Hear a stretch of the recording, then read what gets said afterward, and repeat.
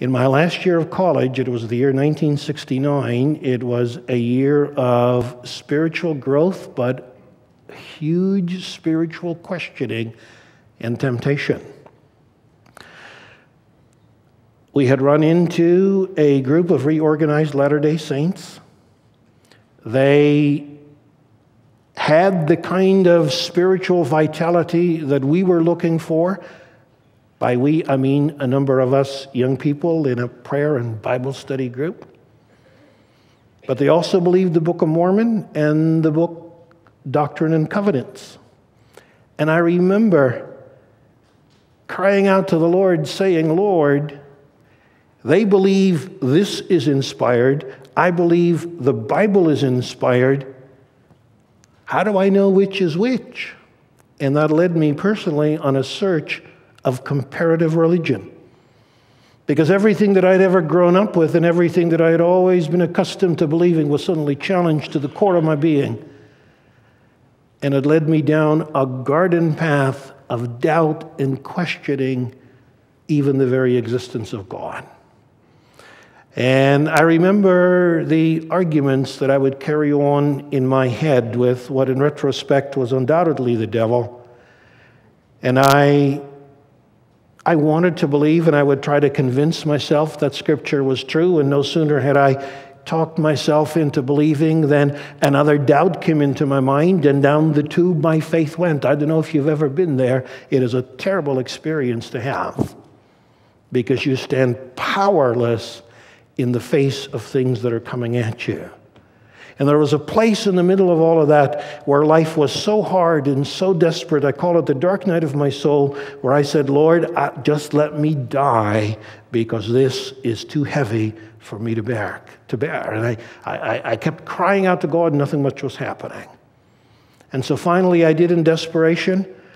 The only thing that I knew how to do is I took my Bible, and I was at Calvin at the time, and I went to what's known as the seminary pond, which is usually where couples go out to make out. I was in a mood to do that. And I took my Bible, and I, I remember the spot and the occasion to this day. I, I stood beneath a huge tree that was growing there. And I made a covenant with God. And I said, Lord, I choose by faith to believe that this book is your word and I commit myself as best as I know how by your grace to live according to it. Because you see, I didn't want to be the kind of person who said, I believe this on the one hand over here, but really my life is lived over here in contradiction of what I say that I believe. I, I wanted to be a Christian with integrity. And I remember saying, Lord, if I get to the end of my days and I will have been deceived because I have believed your word, then so be it. And that's the chance I will take. But I receive your word by faith. I will stop the arguing in my mind, trying to convince myself I receive your word by faith. That's over 40 years ago now. And I can tell you that I have not for one moment to this day regretted that choice. Because while theories have come and gone, experiences have come and gone, the fact is God word, God's word endures forever. And by the time Jesus comes back, every word of God will have been demonstrated to be true, and every promise of God will have been fulfilled. And my invitation to you this morning is to ask yourself the question when it comes to deciding what is right and what is wrong, when it comes to deciding how do I make life's decisions, what do you base them on? Do you base them on what you feel like? Do you base them on what you've learned from your parents, maybe? Do you base them on your own experience? Do you base them on your own clever thinking? You base them on your emotions? If you do, it won't be very long before you can think of a thousand and one reasons why what God says in His Word is not true. And you'll be led down the garden path eventually.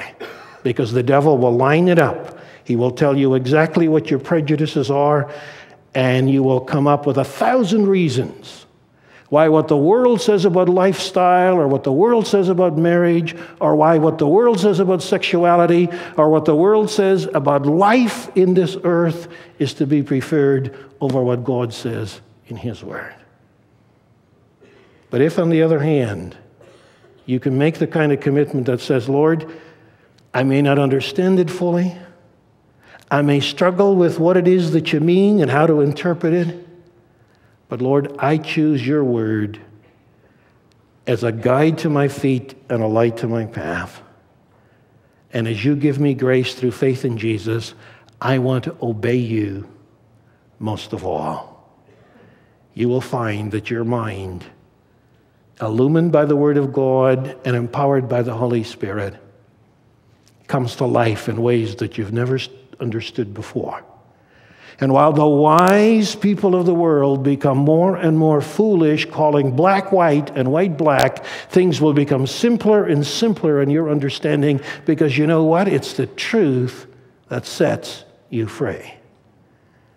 And when God's word reigns in our lives with the power of the Holy Spirit, the most complex situations of life often become amazingly simple because God is God and you're not.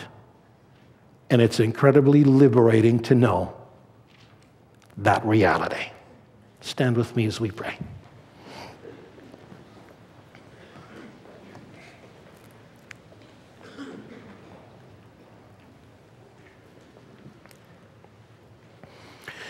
Father, we often say that we believe your word. And in many ways we do. But then your word comes along and uh, tells us a thing or two that we don't like very much about who we are, how we should live, um, what obedience to you looks like. And Lord, then, not infrequently, there is a struggle in our souls. Do I do what you tell me to do, or do I find reasons to go my own way? Forgive us for those moments when we eat again from the tree of the knowledge of good and evil. Help us to realize afresh how in Christ we've turned our backs on that, and that in Christ we live by the Word of God. And Lord, in a world filled with confusion and in a world filled with theories that says just about everything goes, Help us always to measure life by your truth and by your word. And help us in that way to shine as lights in a world that is increasingly dark. We pray it in Jesus' name. Amen. It's time.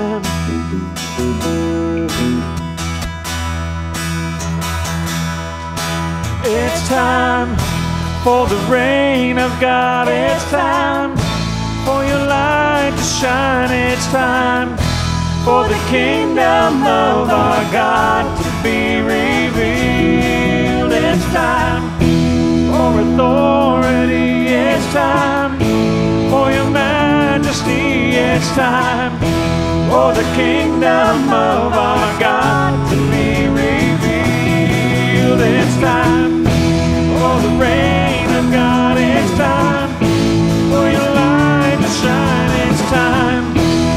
the kingdom of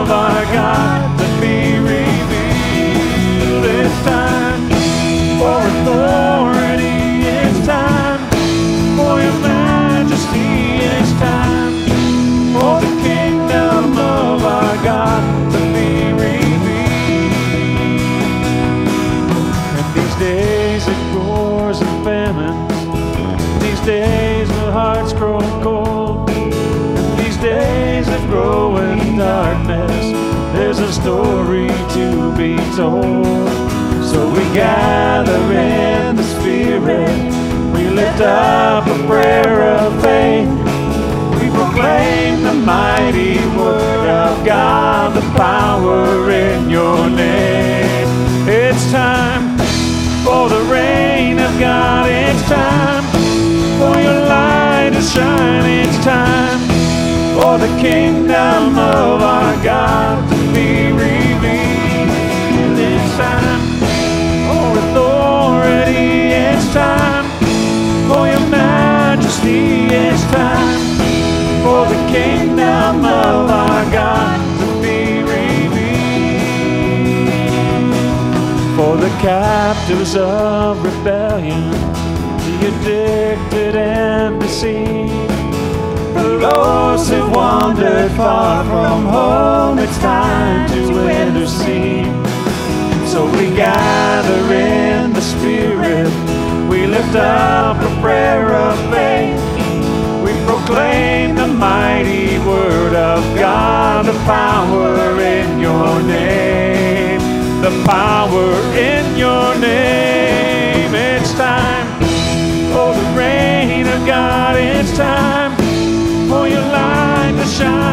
time.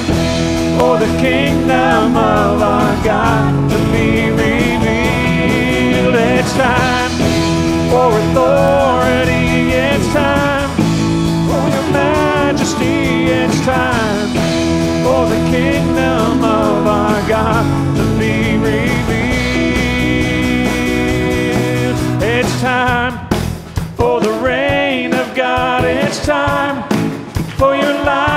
shine. It's time for the kingdom of our God to be revealed. It's time for authority. It's time for your majesty. It's time for the kingdom of our God.